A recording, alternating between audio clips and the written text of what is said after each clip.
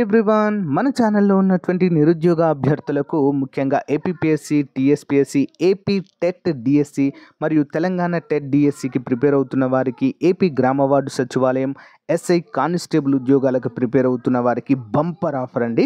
మరి ఆరు నెలల వ్యాలిడిటీతో ఆల్మోస్ట్ ట్వంటీ ఇయర్స్ ఎక్స్పీరియన్స్ కలిగిన ఫ్యాకల్టీ చేత కోర్సెస్ అందుబాటులో ఉన్నాయండి.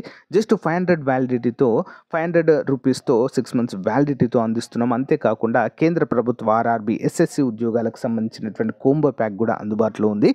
మరియు అన్ని పోటీ పరీక్షలకు ఉపయోగపడేటువంటి యాభై వేల ప్రశ్నలతో టెస్ట్ సిరీస్ కూడా అందుబాటులో ఉందండి. ముందుగా యాప్ డౌన్లోడ్ చేసుకోండి. డెమో చూసి మీకు నచ్చితే వెంటనే తీసుకోండి. Okay?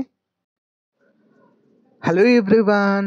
Welcome to RK tutorial. So guys ఈరోజు అన్ని వార్తాపత్రికల్లో వచ్చినటువంటి ముఖ్యమైన విద్య సమాచారాన్ని ఈ వీడియోలో మనము డిస్కస్ చేయడం అయితే జరుగుతుందండి.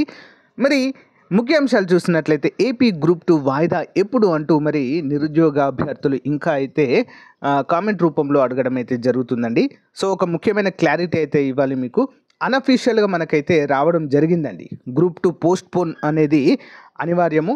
తప్పకుండా మరి రెండు నెలల వాయిదా ఉంటుంది అనేది అన్అఫీషియల్గా మనకు బోర్డు మెంబర్ నుంచి అయితే తెలిసింది. నిరుద్యోగ ఐక్యవేదిక వారు కూడా తెలియచేయడం అయితే జరిగిందండి.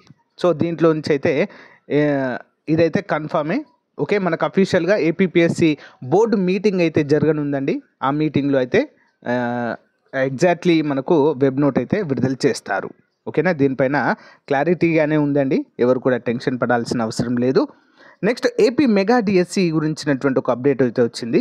నెక్స్ట్ ఏపీ చేనేత మరియు జౌలీ శాఖ నోటిఫికేషన్ విడుదల చేసింది. నెక్స్ట్ సచివాలయ ఉద్యోగులపై అదనపు భారము అంటూ మరొక అప్డేట్ అయితే ఉంది. అన్నీ కూడా వివరాలు వన్ బై వన్ క్లియర్గా చూద్దాము. ఓకేనా? మొదటిసారి ఎవరైనా మన ఛానల్ చూస్తున్నట్లయితే తప్పకుండా సబ్స్క్రైబ్ చేయండి. ఇలాంటి లేటెస్ట్ అండ్ జెన్యూడ్ అప్డేట్స్ కోసము. ఓకే?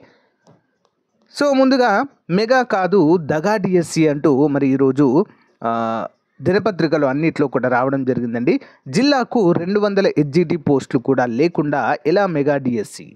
అనంతపురం కలెక్టరేట్ ఎదురుగా ఉపాధ్యాయ అభ్యర్థుల ధర్నా. హెచ్జిటి పోస్టుల భర్తీలో నాలుగు జిల్లాలకు తీవ్ర అన్యాయం. నెల్లూరులో నూట నాలుగు శ్రీకాకుళంలో నూట ఇరవై నాలుగు ప్రకాశంలో నూట ఇరవై నాలుగు శ్రీకాకుళంలో నూట నలభై నాలుగు అనంతపురంలో నూట ఎనభై మూడు. ఇవన్నీ కూడా ఉమ్మడి జిల్లాల పోస్టులు అండి ఓకేనా? ఓన్లీ ఆ జిల్లాకే కాదు ఉమ్మడి జిల్లాల పోస్టులు ఇవన్నీ కూడా.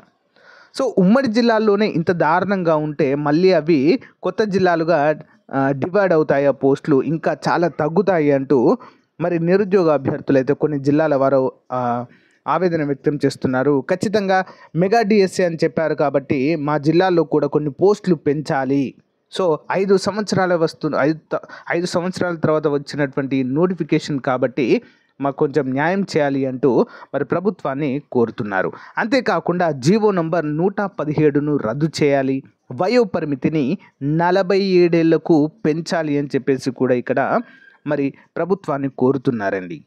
మరి ప్రభుత్వం ప్రకటించిన పదహారు వేల మూడు వందల నలభై ఏడు ఉపాధ్యాయ పోస్టుల భర్తీ చేయగా ఇంకా ఎన్ని పోస్టులు ఖాళీగా ఉన్నాయనేది కూడా వెల్లడించాలి.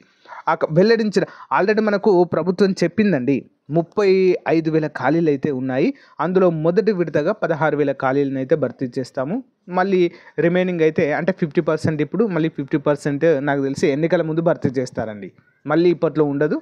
నోటిఫికేషన్ ఎన్నికల ముందు నెక్స్ట్ ఎలక్షన్ ముందే మళ్ళీ డిఎస్సి ప్రకటిస్తారు. అందరు కూడా గుర్తుంచుకోవాలి.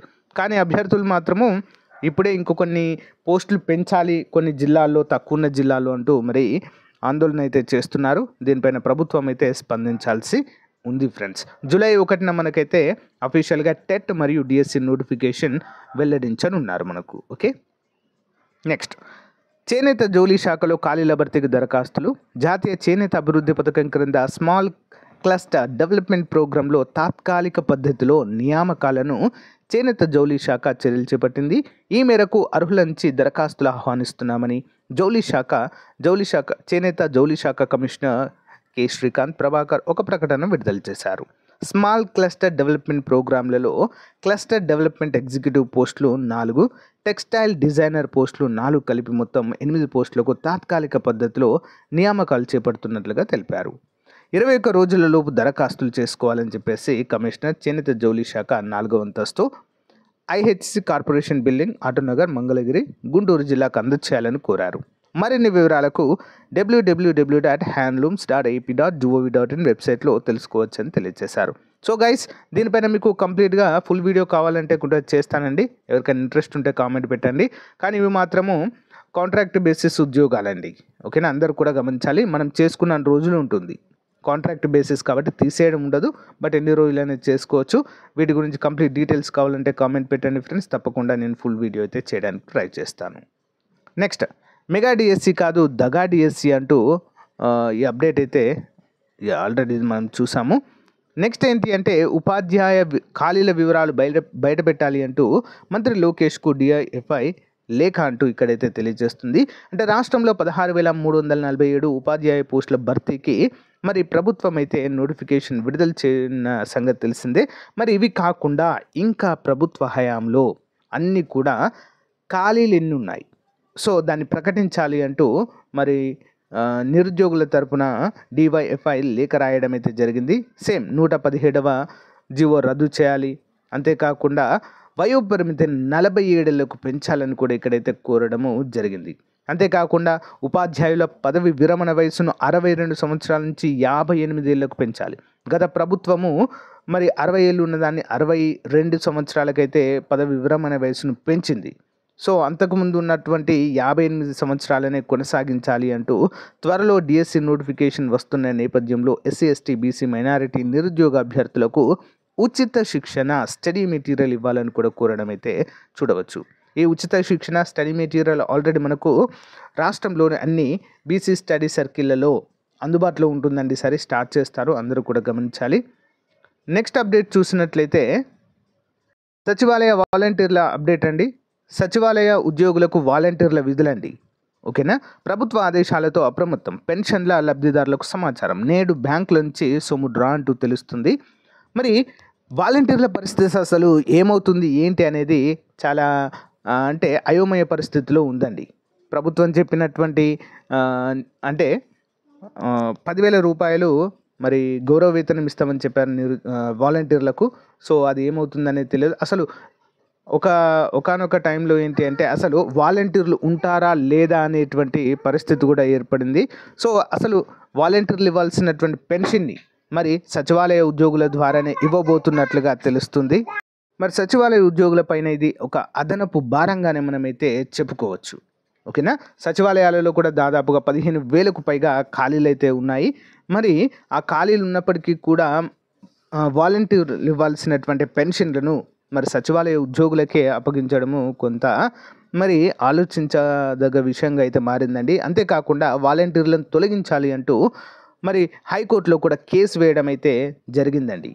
ఓకేనా? చూడాలి మరి ఏం జరుగుతుంది ఏంటి అనేది. సో ఇదండి ఈ రోజుకి సంబంధించినటువంటి చాలా ముఖ్యమైన అప్డేట్స్. సో గైస్ ఈ గ్రూప్ టూ వాయిదా పైన ఎవరు కూడా టెన్షన్ పడాల్సిన అవసరం అయితే లేదండి.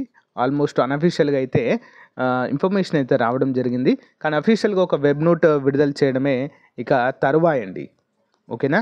అందరు కూడా గమనించాలి. సో సుధీర్ గారు కూడా రిప్లై ఇస్తున్నారు కావాలంటే ట్విట్టర్లో ఎవరైనా డౌట్స్ ఉంటే మీకు అడగచ్చు. ఓకే వాట్సాప్ చాట్ కూడా మీకైతే చూపించాను. ట్విట్టర్లో కూడా సార్ పోస్ట్ పోన్ అవుతుందా అని చెప్పి చాలామంది అడుగుతున్నారు. స్క్రీన్ షాట్లు కూడా నాకు పంపుతున్నారు. హండ్రెడ్ పర్సెంట్ అవుతుంది. సో ఏపీఎస్సి బోర్డు మీటింగ్ అయితే ఉంటుంది. ఆ మీటింగ్లో అయితే ఇంకా క్లారిటీగా వచ్చేసి వెబ్ నోట్ అయితే విడుదల చేస్తామంటూ ఒక క్లారిటీ అయితే ఇవ్వడం జరిగిందండి. ఓకేనా? సో గైస్ ఇది అప్డేట్. ఇలాంటి లేటెస్ట్ అప్డేట్స్ కోసం చూస్తూ ఉండండి. మన ఛానల్ని మొదటిసారి చూస్తున్న వారు తప్పకుండా సబ్స్క్రైబ్ చేయండి. Thank you thank you for support bye